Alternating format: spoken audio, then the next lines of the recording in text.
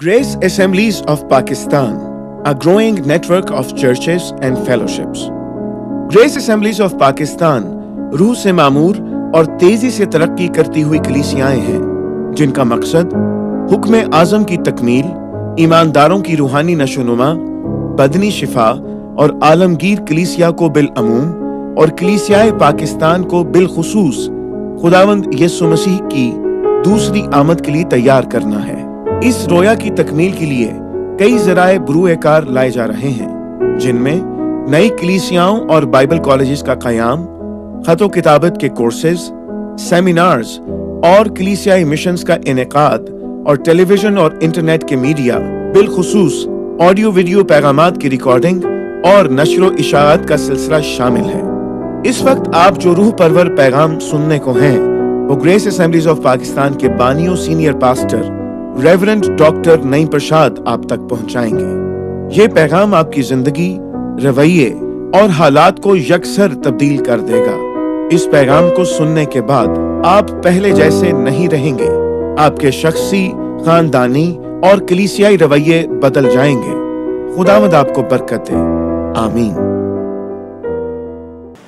सो आज हम खुदाम के कलाम में से देखेंगे हमने किस तौर से आजमाइशों पर गाना बाना है।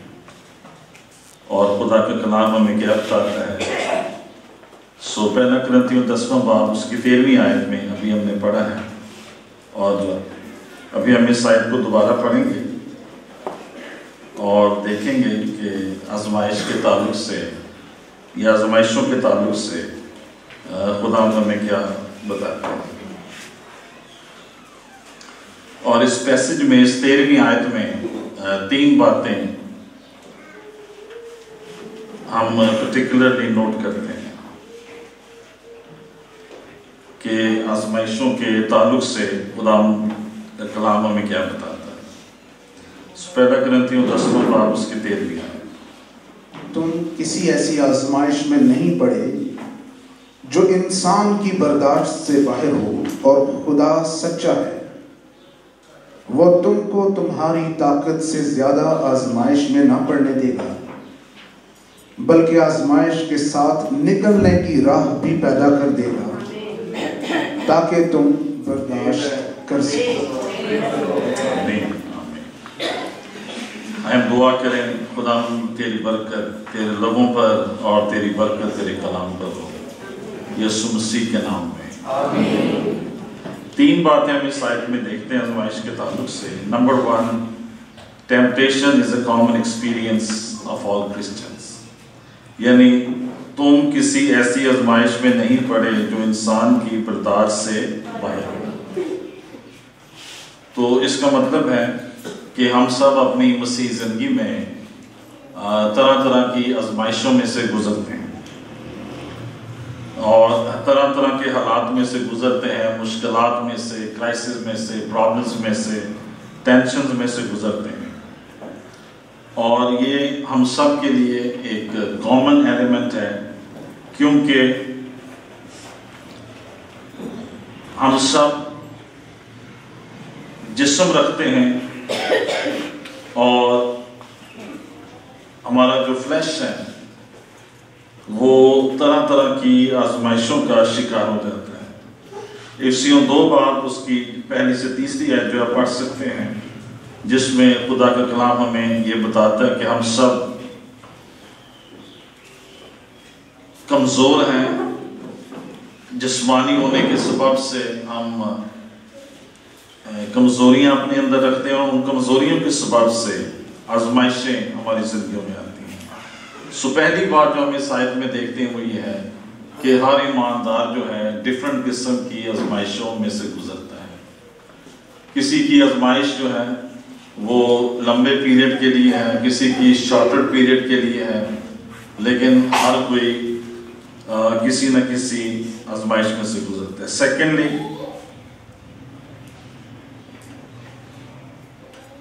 इन आजमाइशों में खुदा हमें बर्दाश्त बख्शता है ताकि जो कुछ इंसान अपनी ताकत से नहीं कर सकता है खुदा उसकी मदद करता है। तुम किसी ऐसी आजमाइश में नहीं पड़े जो इंसान की बर्दाश्त से बाहर तो सबसे पहली बात यह है कि जो भी आजमाइश या टेस्ट या टेम्पटेशन या मुश्किल आपकी ज़िंदगी में आएगी, वो खुदा आपकी बर्दाश्त से बढ़कर नहीं आने देगा। खुदावंद आपको बर्दाश्त देगा, हिम्मत देगा, ताकत देगा, ताकि आप उस आजमाइश पर उस मुश्किल पर और उस अबलीसी हमले पर गालब आ सके। और फिर इसके साथ ही लिखा वो तुमको तुम्हारी ताकत से ज़्यादा आजमाइश में ना देगा। तुम्हारी एबिलिटी या तुम्हारी ताकत से बढ़कर आजमाइश में ना पड़ने देगा। सो so, पहली बार हम सब आजमाइशों में से गुजरते हैं। सेकेंडली खुदा हमारी बर्दाश्त और हमारी ताकत से बढ़कर हमें आजमाइश में नहीं जाने देगा। तीसरी बात हर आजमाइश में खुदा हमारे लिए निकलने की राह पैदा कर देता है। बल्कि आजमाइश के साथ निकलने की राह भी पैदा कर देगा ताकि तुम बर्दाश्त कर सको। सो हर तरह की आजमाइश में खुदा हमारे लिए रास्ता निकाल लेता है, रास्ता पैदा कर देता है, राह निकाल देता है जिसमें से हम उस आजमाइश पर गालब आ सकें। और इसके हम दो एरियाज़ देखते हैं कि या तो आपके लिए कोई ऐसा दरवाज़ा खुल जाएगा जिससे वो आपकी आजमाइश खत्म हो जाएगी या खुदा का जो फजल है, वो आपकी ज़िंदगी पर इस कदर ज़्यादा हो जाएगा कि आप उस आजमाइश को बर्दाश्त कर सकेंगे और अल्टीमेटली वो आजमाइश जो है, वो खत्म हो जाएगी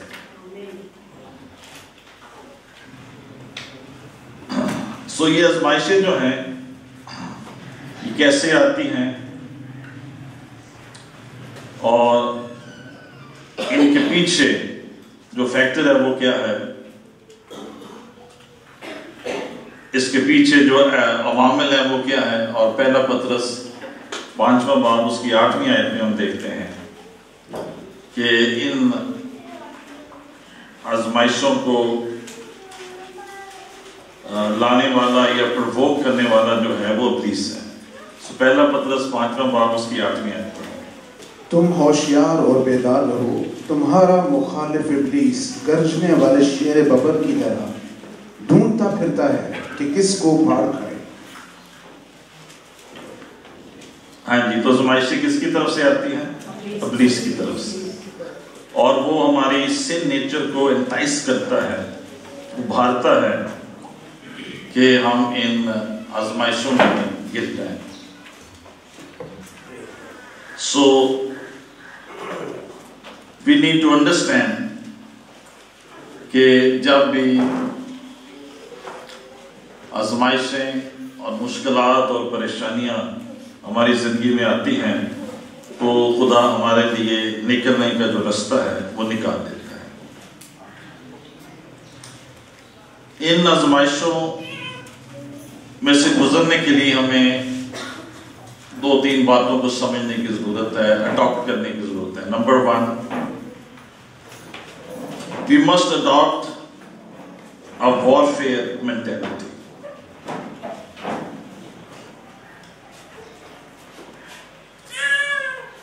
हमने ये सोच और ये तर्ज अमल पैदा करना है कि हम एक रूहानी जंग में इफ्सियों छह बार उसकी यादवी है खुदा के सब हथियार बाँध लो, ताकि तुम अबलीस के मंसूबों के मुकाबला में कायम रह सको। खुदा के सब हथियार हमने एक वॉरफेयर मेंटेलिटी अडॉप्ट करनी है कि हमने खुदा के हथियार जो हैं, वो बाँध लेने हैं और इस पैसेज में फिर आगे छह हथियार जो हैं, वो बताए गए हैं। और जो सबसे बड़ा हथियार है हमारा, आजमाइशों के खिलाफ वो क्या है? दुआ। दुआ करो ताकि आजमाइश में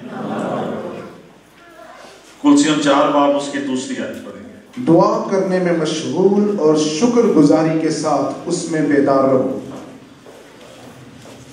सो एक बेहतरीन तरीका जिससे हम आजमाइशों पर गालिब आएँगे और आ सकते हैं वो ये है कि हम हर तरह के प्रेयर के डिसिप्लिन में ज़िंदगी बसर जब भी आप आजमाइश में हैं, मुश्किल में हैं, परेशानी में हैं, गैर जुबानों में भी दुआ करें और जिस तरह से खुदा का रूह आपको गाइड करते हैं, आप दुआ करें ताकि आप हर तरह की आजमाइश पर गाएँ इफ्सियों छः बाप उसकी तेरहवीं पढ़ें। इस वास्ते तुम खुदा के सब हथियार बाँध लो। ताकि बुरे दिन में मुकाबला कर सको और सब कामों को इंजाम देकर कायम रह सको। हाँ जी, खुदा के सब हथियार बाँध लो और अबलीस का मुकाबला कर सको और यकूब के खाते भी लिखा है, बस खुदा के ताबे हो जाओ और अबलीस का मुकाबला करो तो वो तुमसे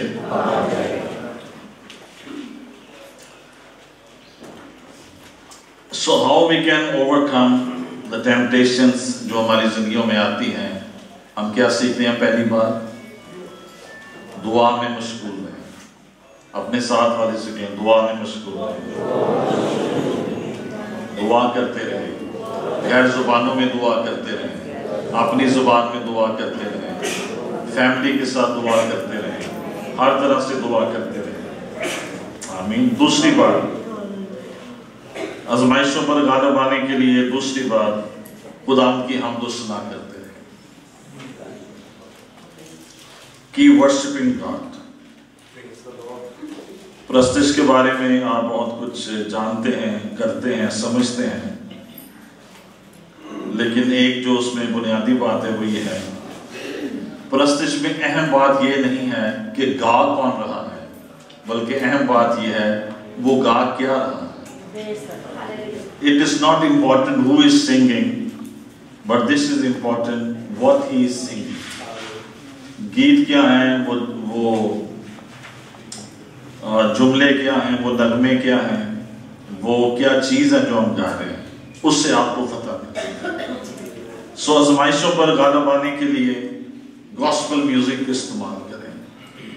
And devil hates gospel music आपका जो दुश्मन है, वो इंजीली नगमों से और खुदा की जो हम सुना है, गीत है वो उनसे नफरत करता है वो उनसे डरता है क्योंकि जब आप गीत गाते हैं आप अबलीस की जो टेरिटरी है आप उस पर गालब आते हैं।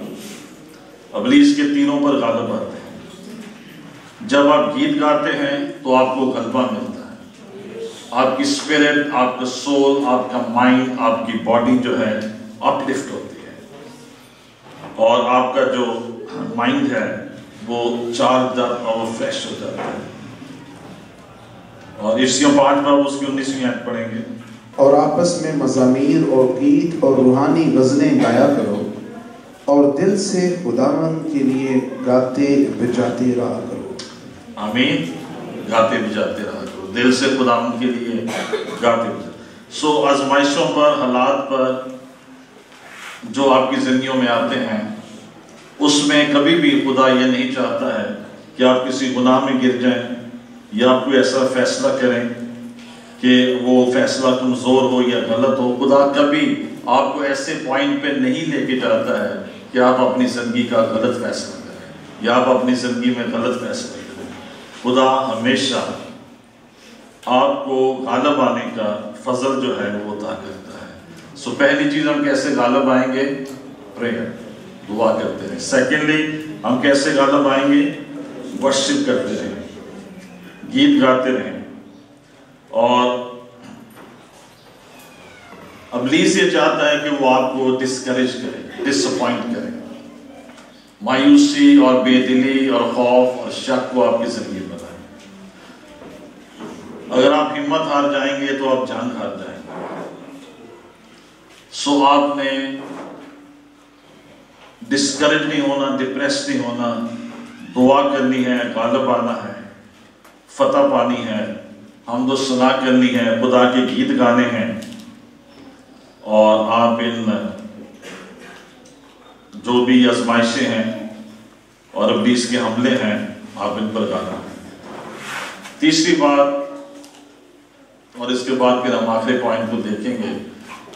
मेमोराइज द स्क्रिप्चर्स खुदा के कलाम की बातों को याद करें मेमोराइज करें। और बाइबल स्कॉलर्स कहते हैं कि मेमोराइज करने के लिए जो सबसे खूबसूरत हिस्सा है, वो जबूर एक सौ उन्नीस है। आप सब जानते हैं कि it's a very very very long 176 verses है। It's a very very long song लेकिन इस जबूर में खुदा के कलाम की जो कुदरत है वो नज़र आती है। हम चंद इसमें से आयतें पढ़ेंगे। जूर एक सौ उन्नीस यादवीं आए मैंने तेरे कलाम को अपने दिल में रख लिया है ताकि मैं तेरे खिलाफ गुनाह न करूँ। एक सौ तीसवीं आए तेरी बातों की तशरी नूर बख्शती है वो सादा दिलों को अक्लमंद बनाती है। जी तेरे कलाम की तशरीह entrance of your words gives light so खुदा के कलाम को याद करें और लास्ट टाइम हमने मेडिटेशन पे भी बात की और मेमोराइज करें मेडिटेट करें, खुदा के कलाम को अपने दिल में रखें। खुदा के कलाम पर, खुदा के वादों पर गौर करते रहें और खुदा का जो कलाम है वो आपके दिल में, आपकी ज़िंदगी में रोशनी को, फतह को, बरकत को, नूर को, जलाल को लाता है, ताजगी को लाता है। और आखिरी बात, जो बहुत ज़रूरी है आजमाइशों पर गालब आने के लिए वॉरफेयर पे गालब आने के लिए, दुश्मन पर गालब आने के लिए, फतह पाने के लिए, वो ये है कि मार्च इन टाइट फॉर्मेशन इसका मतलब है अपनी जंगें अकेले न लड़ें दूसरों के साथ मिलकर रुहानी जंग with your own power you can not defeat the enemy एक दूसरे के साथ मिलकर जब आप दुआ करते हैं, जंग करते हैं, दुश्मन का मुकाबला करते हैं तो दुश्मन शिकस्त करता है। न्यू टेस्टमेंट में ये लफ्ज बहुत दफ़ा इस्तेमाल हुआ है one one another one another एक दूसरे के साथ। एक दूसरे के साथ। Love one another pray for one another serve one another build up one another और एक दूसरे से अपने गुनाहों का इकरार करो, और एक दूसरे इनकरेज वन अनदर सो किसी न किसी ग्रुप का हिस्सा रहे, किसी चर्च का हिस्सा रहे, किसी प्रेयर ग्रुप का हिस्सा रहे, आप मिलकर अपने दुश्मन को शिकस्त दें।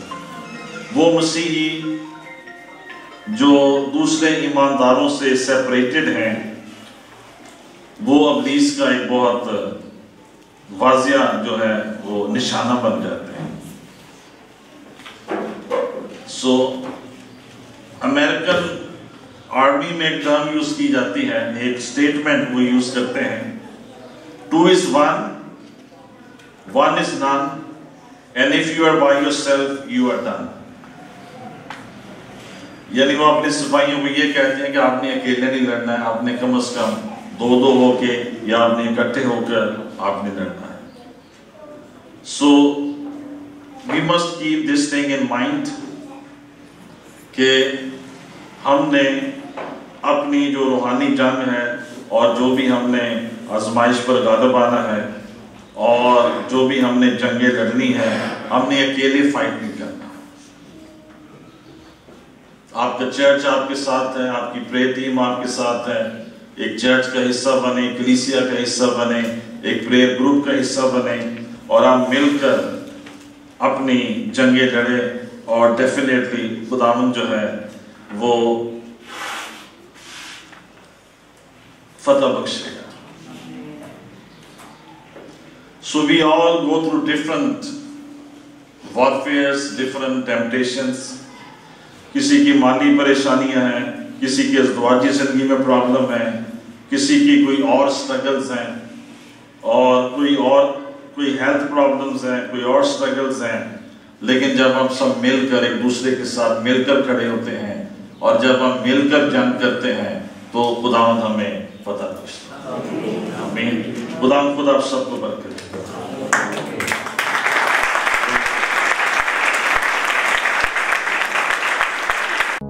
यकीनन इस पुरअसर पैगाम के वसीले से आपको बरकत मिली है। अगर आप अब तक किसी तरह के हालात, मुश्किलात या गुनाह के बाइस परेशान हैं तो आज ही खुदावंद यीशु मसीह के पास आए। खुदावंद यीशु ने फरमाया है ए बोझ से दबे लोगों, मेरे पास आओ। मैं तुम्हें आराम दूँगा तो तुम्हारी जानें आराम पाएँगी। मैं इसलिए आया कि तुम ज़िंदगी पाओ और कसरत से पाओ। अगर आज आप अपने गुनाहों का इकरार करने और उनको तर्क करने के लिए तैयार हैं तो खुदावन यीशु आज ही आपकी ज़िंदगी में दाखिल होकर नई ज़िंदगी का तजुर्बा बख्शेंगे और आप खुदा के बेटे और बेटियाँ बन जाएँगे। वो आपको नजात, जिस्मानी शिफा, रिहाई और बरकत देंगे। नजात के लिए इकरार मुँह से किया जाता है और ईमान लाना दिल से होता है। आप मेरी रहनुमाई में इस दुआ को दोहराएँ। खुदावंद यीशु, मैं पूरे दिल से ईमान लाता हूँ कि तू मेरा शख्सी नजात दहिंदा है। तूने सलीब पर मेरे गुनाह अपने ऊपर उठा लिए। इतने बरसों तक मैंने गुनाह, गंदगी, गुलामी और नशे में ज़िंदगी बसर की। आज तू मुझे अपने पाक खून के वसीले से धो। और पाक और साफ़ कर। मेरी ज़िंदगी में आ और मेरी ज़िंदगी का मालिक और खुदावन बन। आज से मैं उन तमाम कामों को तर्क करता हूँ, जो तुझे पसंद नहीं। मुझे अपनी बादशाहत में कबूल फरमा। मैं इस नई ज़िंदगी के तजुर्बे के लिए तेरा शुक्र करता हूँ। खुदावंद यीशु मसीह के नाम में, आमीन।